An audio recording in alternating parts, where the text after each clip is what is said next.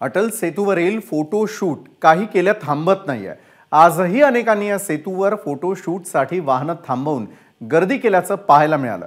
पोलिसांनी कारवाई केल्यानंतरही अतिउत्साही प्रवाशांना समज येत नाही आहे असंच यातून दिसतंय.